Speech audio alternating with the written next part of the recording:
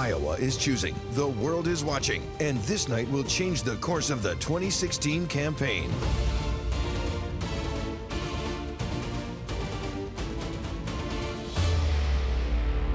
Folks, raise your hand if you're a first time caucus participant.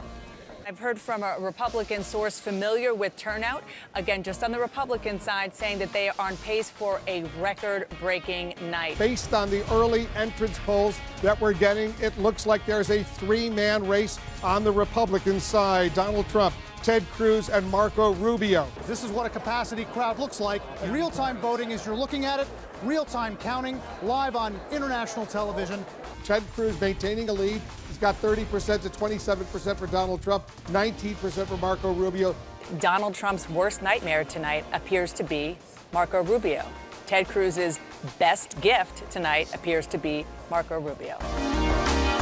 Look at how close it's getting right now 50% for Hillary Clinton, 49% for Bernie Sanders, 73% of the uh, caucus sites reporting it's getting closer and closer and closer. Espresso time. I've just heard from a source very close to Governor Martin O'Malley who tells me that he will suspend his campaign probably within the next 40 minutes, 9:30 Central Time. CNN projects Ted Cruz, the Republican senator from Texas, will win the Iowa caucuses. A major win for Ted Cruz.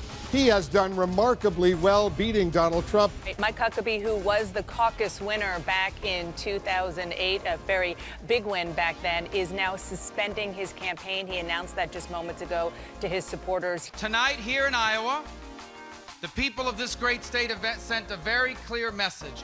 God bless the great state of Iowa.